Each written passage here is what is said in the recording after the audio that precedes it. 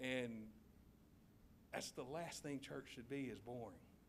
The last thing church should be is boring. So I like it when people interact. Okay, I'm a huge, I'm a coach. I'm a sports fan. And if you go to a game and something good happens, what do you do? You clap, you cheer, you yell. Okay? Now, I'm as Baptist as they come, so don't go, oh boy, here he goes. Where's he going? I'm as Baptist as they come, but there's nothing wrong with enjoying church. There's nothing wrong with laughing. There's nothing wrong with clapping if you hear something you like. There's nothing wrong with saying amen if you, if you hear something you like. So interact with me. It's going to make me go faster, and we'll get out of here by lunchtime. Okay? amen, brother. Thank you. One person got it. We're on a roll now. Okay? Um, so if, if just just enjoy it while we're here today. I, I told you I'm a big sports fan, and I, I, I, am so excited about the Arkansas baseball game this afternoon. Y'all realize Arkansas is playing in the College World Series? Okay? And the thought crossed my, crossed my mind this morning as I was going back over what I was going to talk about today. I am so excited about that baseball game. Am I that excited about going to church? And the Lord kind of hit me with a boy, you need to get your priorities straight. And I'm still excited about that baseball game, but I want to be just excited about sharing the gospel and sharing God. I mean, I love Arkansas. I love the Razorbacks. I just finished, got my master's degree from there, and it's a great thing. Love that school. Anybody LSU fans in here? Well, that's good because we were going to have to pray for you, but I mean, it's okay. We're going to have to. oh, somebody's getting ratted out down here. well, at least we know who needs Jesus, okay? And So I'm joking. I'm just joking. I'm just joking. All right, but it's uh, I love sports and I love that, and I want to take that enthusiasm here today too. So just enjoy it. If you watch a movie, it brings out emotions. It brings you out. You laugh at a movie. You cry at a movie. You have emotions. Well, let church bring those emotions out into you. Let the Holy Spirit work on you the same way. We can have those same emotions in church. So, the big thing I want to say about this, then I'll get into my message is we have the most sold book in the history of the world. It's historically accurate, as, as historically accurate as any other book that's ever been printed. Other books document what the Bible says happened, and there's a lot of people that try to tell you that's not true, and they're just wrong. There's a lot of books that document the history of the Bible just as it says. That's something we should be excited about. That's something that we should be happy about, and that's something we should be willing to grow and to share and to, be, to get the news out. So while we're here today, feel free to laugh. I try to be funny, and sometimes it works, okay? Sometimes it doesn't. But I always tell people when I talk to them that uh, I, I, enjoy fake laughs just as much as real laughs, so it's okay. If I'm not funny, you can go ahead and laugh, and I'll still think I am, and that'll work out just fine. But enjoy it, laugh, smile, open yourself up to what God has for you today. Because if you're here, you're here for a purpose, and that purpose is God has something for you. Not me, I'm just up here speaking. But I prayed and prayed and prayed that God would give me the words to speak so it would speak to you into your need. So we're going to speak today about problems. Any of y'all not have problems? Because if you do, I'm fixing to sit down and let you come preach and tell us how to do it. We all have problems. We all face problems. I, the funny thing about Cliff being in the bulletin is I leave tomorrow morning for uh, Ellington, Missouri. I'm going to preach a five day youth camp uh, at uh, Ellington, Missouri for a church out of Jonesboro. And uh, the funny story is, is they actually called and wanted Cliff to come do it, and he was booked, so they got me instead. So it, that's where the joke came in this morning in the bulletin. Uh, but I'm happy to go do it, and I'm honored to go do it. But please pray for me. If I spoke to students five days in a row, I was coaching, not preaching. So this is a different opportunity for me, and one I'm really excited about. But uh, it's one I'm also very nervous about too. Um, I don't want to go up there and spend five days, and by day three, then say, "Oh, here comes that guy again." I don't want to hear him. I hope the Lord uses me, and that's my prayer. So pray for me as that as we go uh, go through uh, and work towards uh, our message today. The verse I'm going to use just one small verse. Well, it's actually not a small verse, but we're going to use one part of a verse. 2 Samuel chapter 23, verse 20. If you want to turn there, if you don't, that's okay we're going to talk about it. But 2 Samuel chapter 23, verse 20. In this verse of 2 Samuel, it talks about a man named Benaiah. Okay, Benaiah was a man's man. If you've never heard of him, it's not that surprising because he's only mentioned just a handful of times in the Bible. But what he, when he was mentioned, it was mentioned with many unbelievable acts, many acts of strength. Like I said, he was a man's man, he was a valiant warrior, uh, he was a strong competitor. Whatever he did, he did to his fullest ability. Benaiah was a guy you'd want on your side. He's a guy you'd want on your team. Now, some of the accomplishments of Benaiah we're going to look at just quickly, and I'm going to go down the list. The first thing is he was in charge of David's guard. Um, King David in the Old Testament had what we would know today as a secret service. He had a king's guard. And when you look at the Old Testament history of how many people tried to kill David, how many people wanted him dead, you had Saul. You had his own son at one time was trying to kill him. There was many people that wanted David dead. He needed his own personal bodyguards. And Benaiah was the head of the bodyguards of the King David. So he was a, uh, one of the highest positions you could have militarily in uh, King David's kingdom. So it was a very important position. He was also the commander of David's mercenary forces. Now, what that meant was he was not a commander of the Hebrew army, the army of the Hebrews, of King David's actual army, but he was the commander of the foreign armies that King David had under his control as well. So, again, he was right there next to the top spot. He was somebody that King David trusted, who he trusted his life to, and gave command over military, over the mercenary uh, uh, forces. Next thing he did was he killed two Moabite heroes. Okay, now the thing I want you to see in this is if you look at this verse in verse 20, it says Benaiah was a son of, and I'm guys, I'm not a biblical person, and I'm not even going to try to say that guy's name. Okay, but it starts with a J O, so I'm going to call him Joe. Okay, um, and just just deal with me. I don't mean any disrespect. I'm just not going to try to get through that and mess it up. Or I'm sorry, it starts with J E, but I'm still going to call him Joe. Okay, uh, Benaiah was the son of this man he was the son of a valiant man from Kabzeel who had done many deeds. He had killed two lion like heroes of Moab. We're going to stop right there. These lion like heroes. What makes a person lion like? What's characteristic of a lion like person? Someone who's strong, who's courageous. What's the lion? He's the king. He's the king of the jungle. So you have these two warriors from this other country who are supposed to be the best. They're supposed to be the most courageous. Um, they were strong. They were brave. And uh, Benaiah goes out and kills both of them. It set him above the other people. Now, at that time, to compare somebody to a lion was one of the highest compliments you could give them at that time.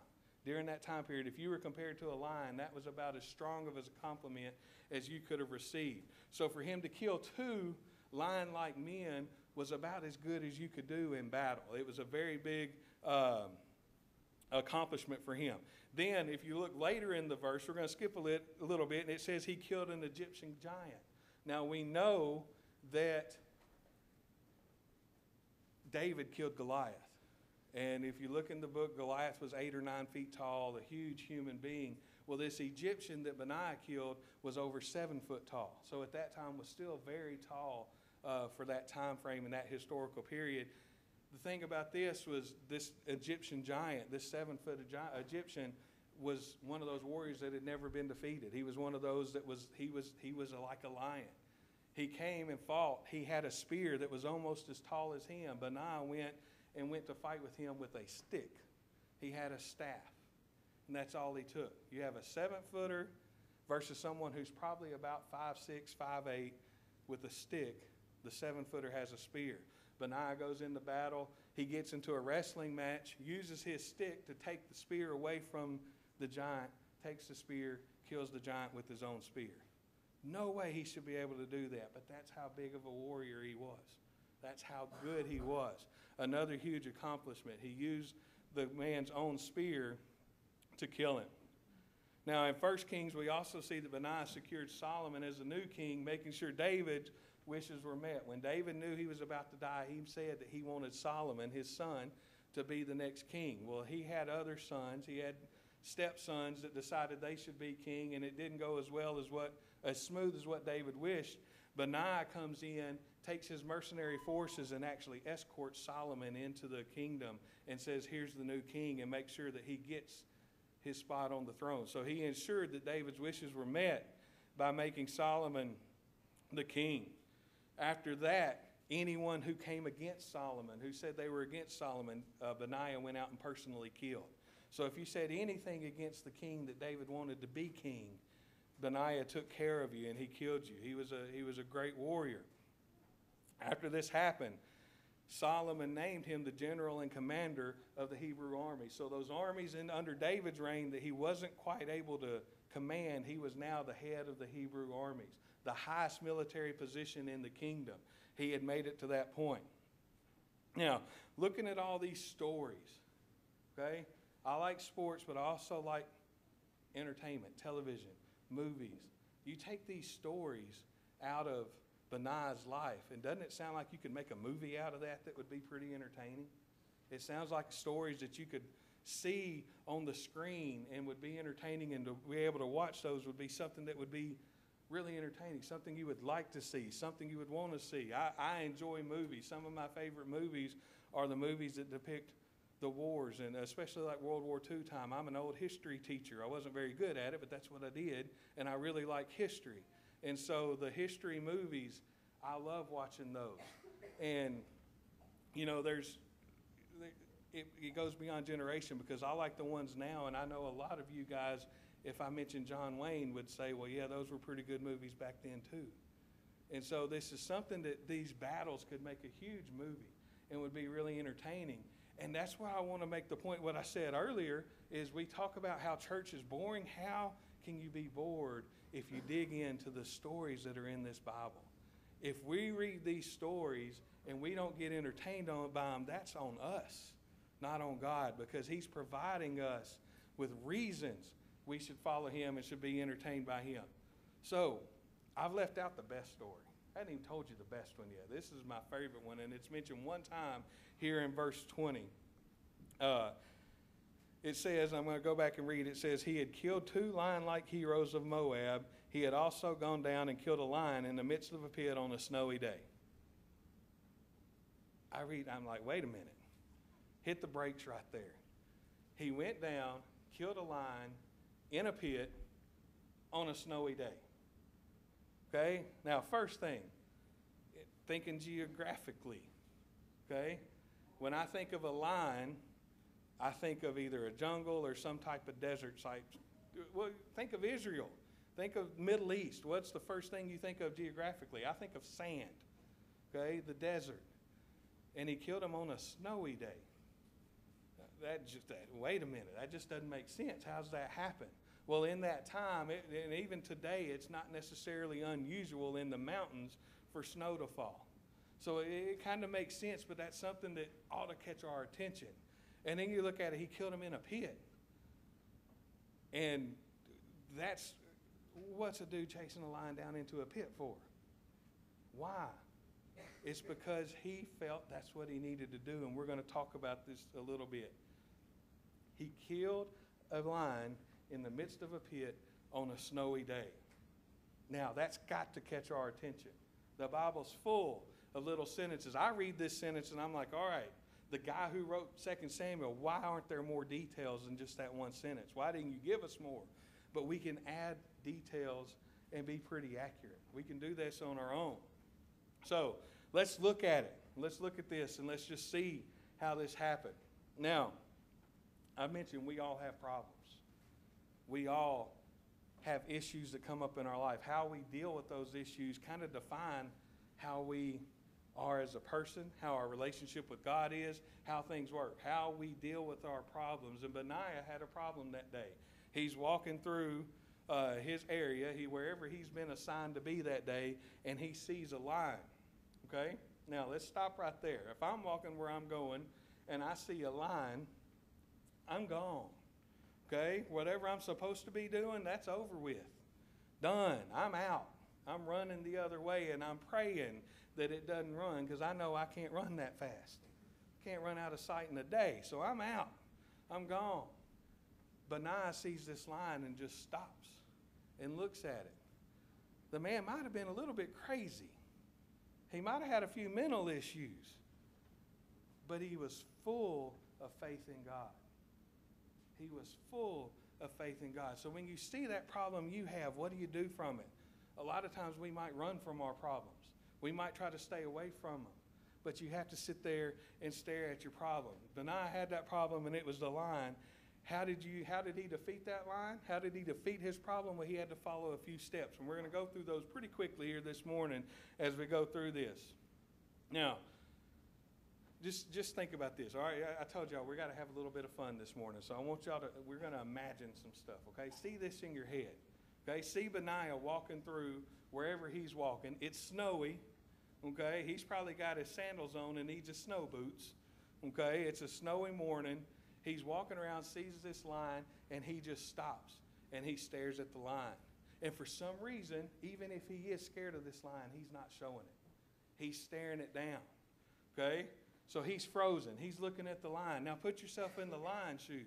This lion's walking around and he sees a human. What's the first thing humans do when the lion when he, the lion sees them? They're gone. So he sees this guy, he sees Benaiah, and the lion stops and look at Benaiah, and Benaiah stopping and look at the lion, and the lion's got to be thinking, what's wrong with this cat? Okay, what's wrong with him? Why hasn't he ran? Why hasn't he gone? And he's standing there, and they stare at each other, and Benaiah's just waiting. He's not flinching. Can you imagine standing there strong, looking a lion at the eye, maybe 10 or 15 yards apart? I, I can't. But that's what he did. The lion looks at Benaiah and says, This isn't normal. This isn't how it normally works. So I got to get this guy to go.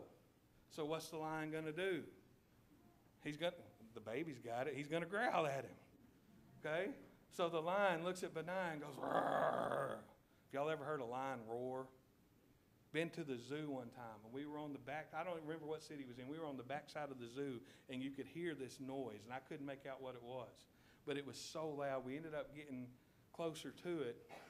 And this one guy who thought he had the courage of Benaiah, but really he was behind a fence, was taunting the lion in the lion's cage. And it was making the lion really mad. And he was running around, scratching the ground, hitting trees, and would just roar. And when we got close enough to it, it would roar so loud that literally your chest would shake, like it would with bass music. If you've been around bass music, your chest would vibrate. The lion's roar was so loud, my chest was shaking. I was like, my goodness. That lion roared at Benaiah, and he just stood there. Now, this lion really had to be messed up then. That always works. So, what did he do? He dug a little bit deeper. He found his granddad's roar, and he roared and let it have it. And Benaiah just stood there. So now the lion's really confused. Okay, you got to see this. See it with me. The lion's really confused and he stands there, so he kind of bows his big chest up and he turns and faces Benaiah. And Benaiah's not going anywhere.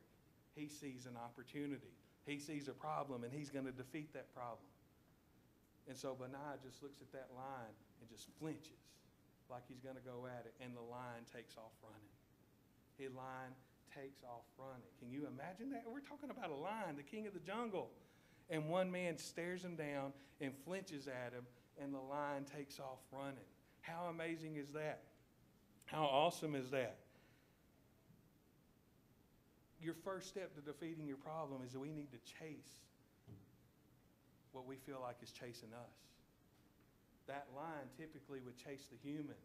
When we have our problems, a lot of times we feel like everywhere we turn, everywhere we go, every move we make, that problem's right there with us. We can't escape it. And it might be because we're running from it instead of running right towards it and going at that problem and attacking it. It's not an easy thing to do. You have to believe, you have to have faith, you have to know, you have trust God, you, you have to trust God to take care of you. But if you ever feel like you can't escape the problem that you have, then you have to know that you can't defeat what you don't confront. Think about that in any aspect of life, not just problems, in any aspect. If you don't confront an issue, you can't defeat it. You'll never defeat it running from it, it will always be there. Okay? So you have to confront if you want to defeat. Benaiah started chasing the lion when the lion was supposed to be chasing him. So we go back to the story now, okay? Chase your problems, attack your problems. Step two. Well, let's get to step two here in a second. Look at this situation. In most of our lives, if we were ever in a position that we stared down a line and the lion took off running. What were we doing? Well, we're done then, right? We normally would have ran, but we actually stayed. We chased it down. So here's, here's what you do you go back to work the next day, and you're like, hey, y'all listen to what I did this weekend. I went out, I saw a lion. It growled at me. I stared at it. It growled again. I kept staring at it. And then I just went, boo. And that lion took off running. We're happy. That's something to go home and brag about, isn't it? That's something you go tell your coworkers. I scared a lion and made it run. The problem is, is the next time you're in that area, who's there? The lion's still there. Are you going to get him twice? I don't know if I'd be willing to take that bet or that gamble. Okay? So here's what you got to do in step two. You have, or step one, you have to attack, you have to chase, you have to go after what's your problem is. Step two is you have to be willing to kill what's trying to kill you.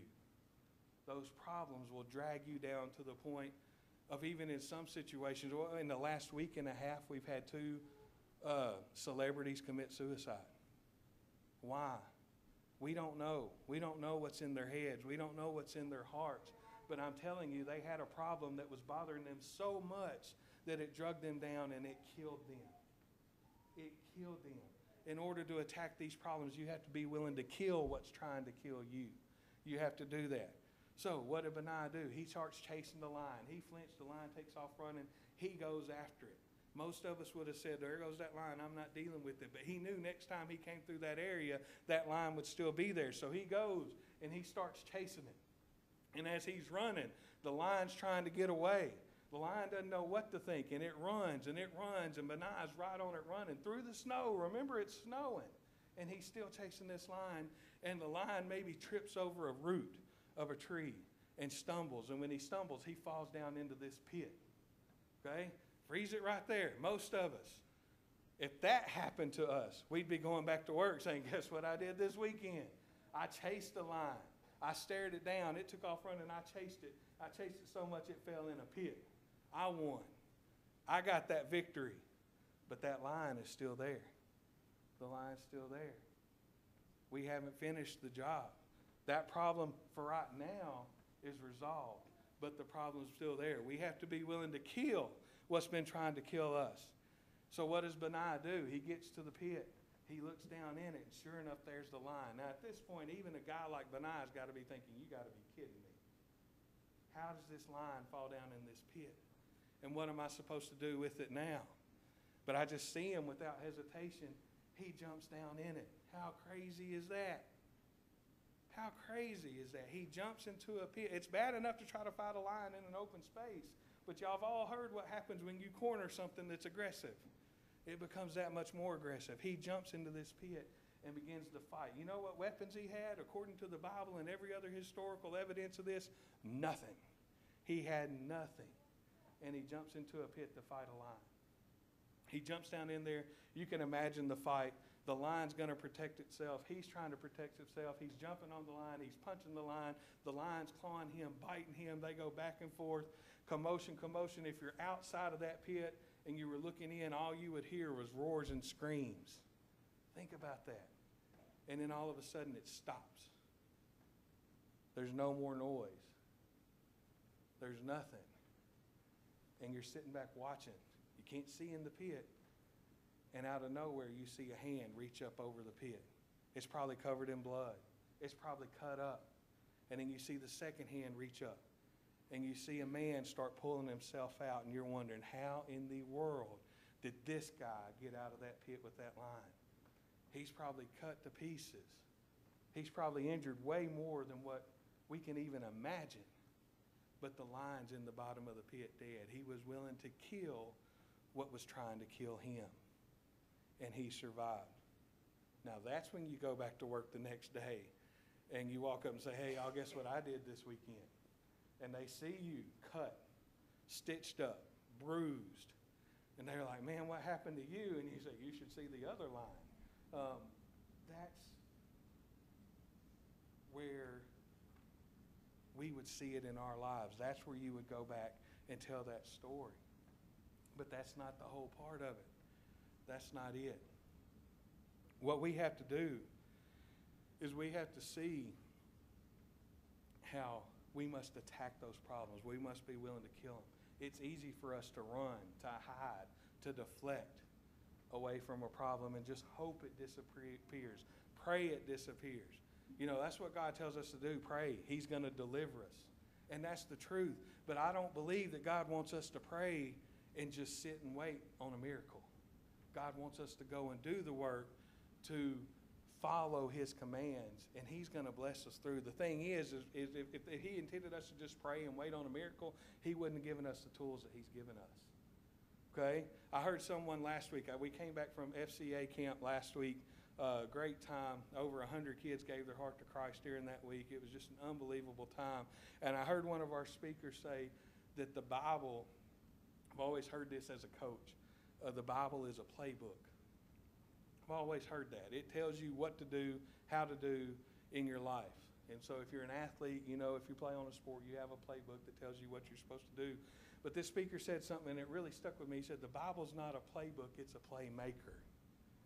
And I was like, Boy, isn't that the truth? You know what? Because it's the Bible, yeah, it tells us what to do. But if we do what the Bible says, it actually does things for us, it makes the plays. It does what we don't have to do it we can rely on God because God's given us the tools to go and attack our problems and attack our, or our, our uh, problems and our issues. Now, as I said, God's given us the power and the tools to defeat the big things in our life. Now, here's the thing is we don't just need to win the victory.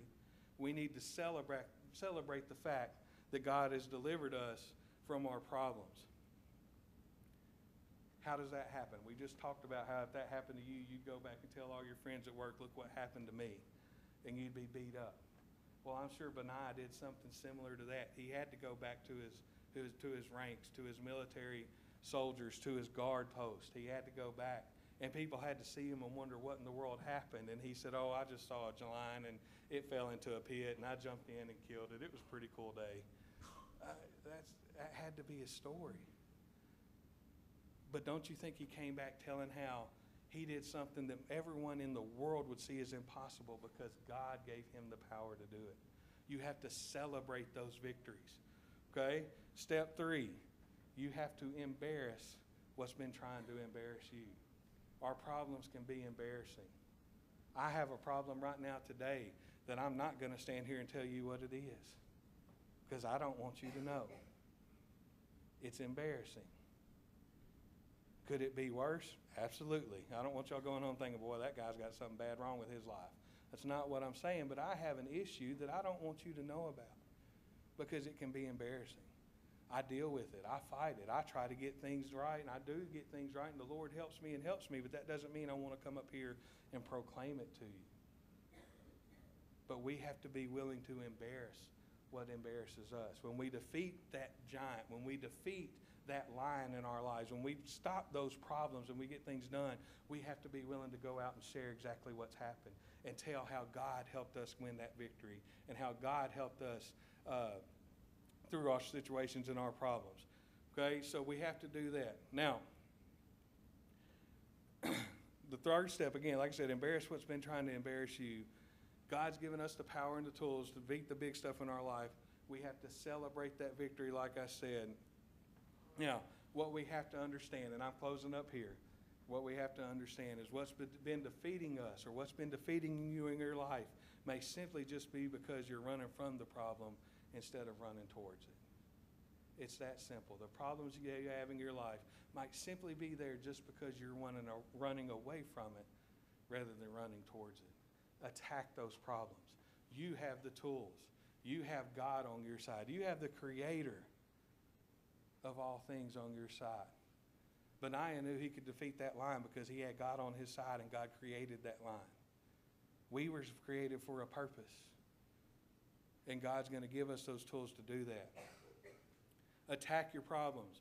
Run towards them with the tools God's giving you, and then kill your problems with God's help, and then tell the world how God helped you secure that victory in your life. What problems are holding you down this morning? We all have them. We all have them. What problems are holding you down? Have you given that problem to God? Or are you still trying to fight that battle on yourself or on your own? Are you trying to do things your own way or are you trying to do things God's way? Are you running from that problem or are you attacking that problem full speed ahead? Are you using the tools that God is giving you? Bigger question even yet is do you have a relationship with Jesus Christ? All this stuff I've said this morning won't make a sense at all if you don't know that Jesus is in your heart this morning and you have that personal relationship with Him. Remember, we can't fight our problems with our own power. We can't do that. We have to fight with the power of the Creator of the universe. And I encourage you today, if you don't know Him, know Him today. I'll be up front. You can come talk to me, and we will introduce you to Him and let you share in what in the eternal life He has for you, in the life here on this earth He has for you. If you have a problem today, maybe you haven't given it to God, and you just want to come down to this altar and say, Hey, I've been fighting this myself. I've been running away from it. I've been deflecting it. I've been staying away from it. Today, God, it's yours. Help me attack that problem.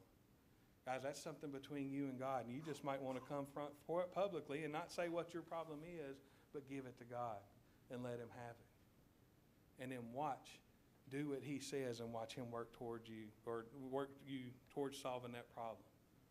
Anything you have, anything you need, that's what this time is for, is to share it with God. So as we have a verse of invitation,